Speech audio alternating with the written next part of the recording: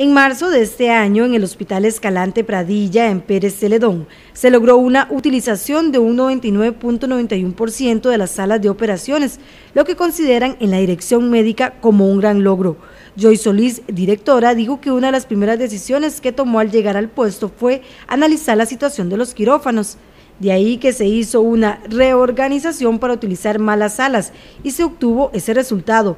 Esto permitió que se operaran más personas en diferentes especialidades que estaban colapsando las listas de espera. Hicimos una reorganización de lo que eran los tiempos quirúrgicos. Se le está dando más a las operaciones a las especialidades más críticas, otorrino, oftalmología, neurocirugía y cirugía general, con el fin de disminuir los plazos. Este, el, nuevo jefe de sala de operaciones hizo también una distribución con, con los anestesiólogos, que están trabajando todos muy bien y logramos una utilización de sala de operaciones de un 99.01 en marzo. Eso significa que más no se le puede sacar a la sala de operaciones. Eh, si un paciente no ingresa, se busca por qué no ingresó y se sustituye ese paciente para utilizar el campo. Otro de los logros es la disminución de los plazos que llegaron a los 435 días, que es por cierto el plazo más bajo que tienen en el hospital. Solo en diciembre del año pasado era de 515 días. Este, lo más bajo que hemos estado eran 450. En diciembre estábamos en 515 más o menos y hemos venido bajando mes a mes un poquito más.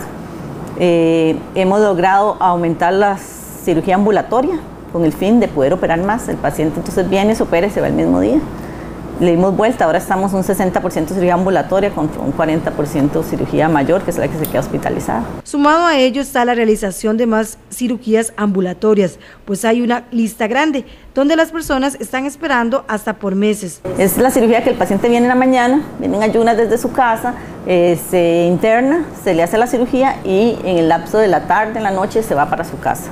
Entonces eso hace que utilicemos mejor las camas. Este, cirugías de oftalmología, cirugías de, tendones, fracturas, este, ahora se están haciendo cirugía general, vesículas.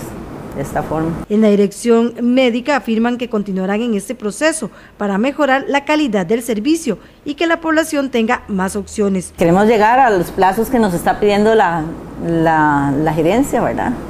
Este, significa que se está viendo el trabajo, porque sí se estaba trabajando, los médicos aquí, el personal siempre ha trabajado, pero ahora lo que estamos haciendo es logrando eh, trabajar eh, hacia una meta. O sea, el trabajo ahora se hace más, más metódico, que si falta un paciente se sustituye, que se llaman los pacientes, eh, que se le da más campo al que tiene más pacientes, para que todos vayamos avanzando hasta que todos, cuando todas las cirugías ya estén con el mismo plazo, otra vez se hace otra distribución de sala de operaciones para que todos caminemos parejo. Pero en este momento había eh, especialidades que se estaban quedando botadas, como torrino, que tienen los plazos más largos. Entonces ellos ahora operan más, operan casi todos los días para que esos pacientitos eh, operarlos lo más antes posible. Actualmente la lista de espera llega a unas 9.000 personas.